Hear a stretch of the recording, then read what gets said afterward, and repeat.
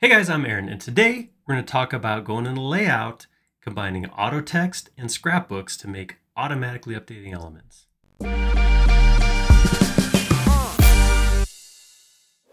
So in our last couple videos, we spent two of them talking about auto text, and we talked about making custom scrapbooks, uh, and this leans on all that. So I will make sure in the description to leave links to all three of those videos. You'll be able to find them down there. Because um, what we're going to do is we're going to create a brand new element and it's going to involve a bunch of different pieces of auto text. We're going to save it into a scrapbook so that when we grab it out of our scrapbook and drop it onto our drawing, it just automatically updates. So pretty cool and it's incredibly easy to do. Uh, and we're going to walk through right now. All right, so first things first here, what are we looking at? We're looking at a model here. I'm sorry, a drawing with two different uh, SketchUp model windows.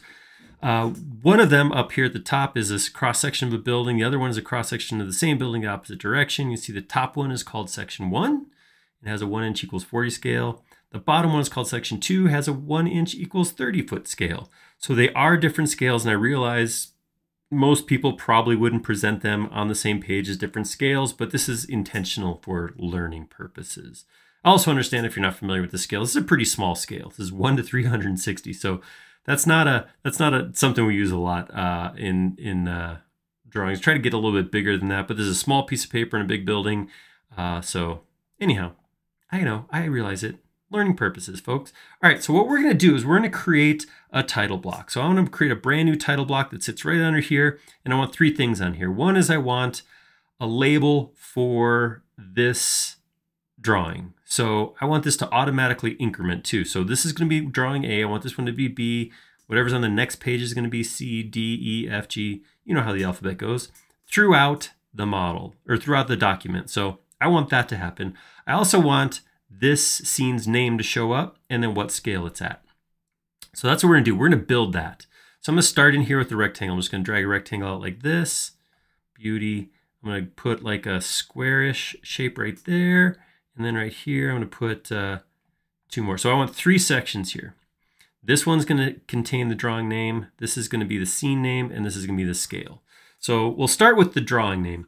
I want, like I said, I want an automatic thing that when I drop it in, it just says A. And then when I drop it in again, it says B. So I'm going to create a new auto text. I'm going to go up to text, customize auto text. I'm going to hit plus, and it's going to be a sequence. So down here at the very bottom is this type called sequence. I'm going to say add. And now I got to tell what it is. Uh, I'm going to call it, uh, we'll call it something like drawing num, even though it's not going to be a number, it's going to be a letter, but that's the name of it. That's what I want to call it. Uh, the style, I don't want to go one, two, three. I want to go A, B, C. So I'm going to choose that from the list. And now I was going to say, where do I want to start? I'm going to actually do some kind of weird and say start at zero. So what we're doing right now is we're going to create the item that happens before the first one we use. So this is the one that's going to go into the scrapbook, which is going to be zero. That way, when we pull the first one in, it's going to progress this forward from zero to one, which is the first letter in the alphabet, which is A, because it's going to increment by one. So it's going to go from not the real letter to the first real letter and then B, C, and so on. I want this to happen not per page, but per document. Now, if there's ever a situation where you start dropping these in, you drop in too many, you make a mistake, whatever, you can always use the renumber button to make the whole chain start over. if it's really easy to, to, to clean that up. Worst case, it's like it's like SketchUp, right? Worst case, it's a text field, and if I have to manually number it, I can. But if I'm really good and I'm careful about dropping these in after everything's set up, it should automatically do it. it should be easy. So I'm gonna say close. I'm gonna grab a text box and just trace this little square. It's probably a rectangle, not a square. And I'm going to go to text, insert auto text, and I'm going to go find that drawing num and just drop it right in. All right, when I click outside of it, it's going to give me a letter right there. Uh, let's make that bigger, right? Let's let's come into that text and I want to make that significantly bigger. So I'm going to go to Window, Show Fonts. We're going to jump up to like maybe 24. Yeah, I think that'll work. Yeah, there we go. So I'm going to put that M. Um, I'm actually to use my arrow keys to just kind of bump that around till it's right about in the middle of that square. And I'm going to close this up like that. That's what I want. So that M is where my A will be. Perfect. That's exactly what I want. All right. Now we got to put our scene name in here. And that's exactly what the auto text is, is just scene name, capital S, capital N, inside of caret brackets. uh, but we're not going to put it in with text. This case, we're going to use a label. And here's how I want to put the label in. I'm going to click over here to the right, just to the, really just to the right of this whole element. I keep saying element. I don't know what else to call this. Title block, title thing. I'm going to click right here and I'm going to drag that back over here to the middle. I'm going to click two times and then I'm going to, in this, put in caret scene name caret like that. Perfect. Uh, since I have this font up right now, let's bump this up to like maybe a 14. Bold. Bold's a lot, but you know, it's okay. Let's be bold. Let's let's keep it bold. I like that. That was good. All right, so what's going to happen is when I drop this into my drawing, wherever this arrow lands, whatever model window this arrow lands on is going to automatically populate what the scene name is in here. It's really cool. This arrow is kind of like magic. It just says pull the information out of whatever this dot is on and it automatically puts it in there. Unfortunately, it's magic, but it's also ugly. This doesn't look very good. So what we're going to do is uh, we're going to use the shape styles to change how our leader line looks. Now in, here we can change things like the arrow at the start, the dot at the back. We could even change the stroke down to 0.1, but we can't make it disappear. There's not an option here to not show it. What we can do though is we can make it invisible. So up here where it says stroke, if I click on this little button right here, um, this is where I would use, you know, whatever my preferred method is of changing the color. Right now it's black. If I come to the color circle, I have this opacity slider. If I slide that all the way down to zero, watch as it, watch as it slowly disappears. Like that, that's perfect. So now I still know that this is the point it's gonna pick when I drop it in, but it doesn't show up if I deselect it right now it doesn't show it at all. Perfect. That's exactly what I want to do. We're to do one more.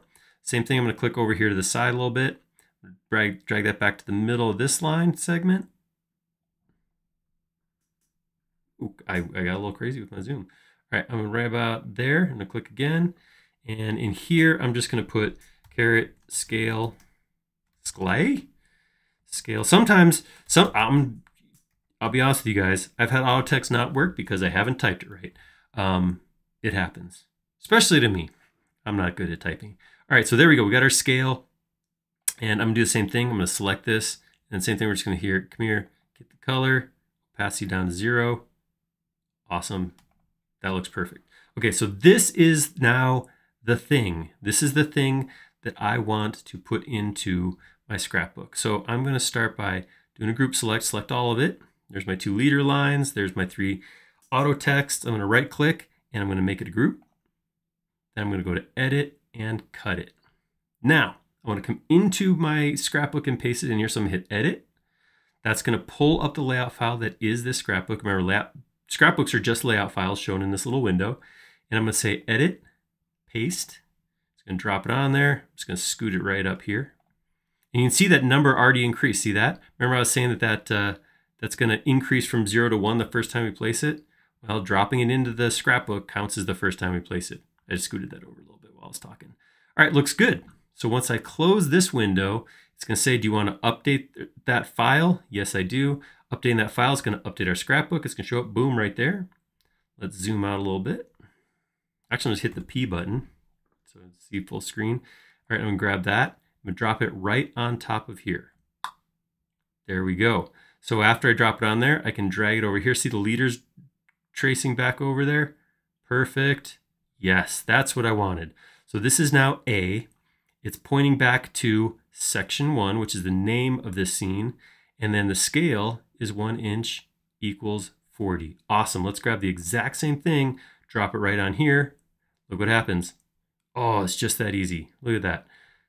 B, section two, one inch equals 30. And as I keep going, if I drop this onto the next page, it's going to come up with C. And if I drop it onto another model window, of course, it'll tell me the scene and scale, but it automatically goes through and it increases that, that letter by one. It moves forward in that alphabet one time. So there you go. Super simple. I know a lot of times you go in here and you go, okay, uh, I don't really like the TB plane, but I'll drop this in and then I'll edit it afterwards, change it. No, don't do that. Don't be, you watch my videos. You don't need to be doing silly stuff like that. You got this.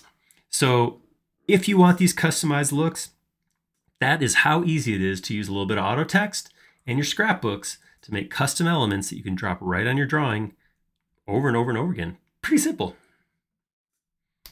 So I hope you like that because this is one of those things that I remember when I started layout. I was beholden to those scrapbooks. I used only what was in the scrapbooks. And it was probably a couple of years of doing that before I realized that these scrapbooks are just layout files and I can edit anything I want to.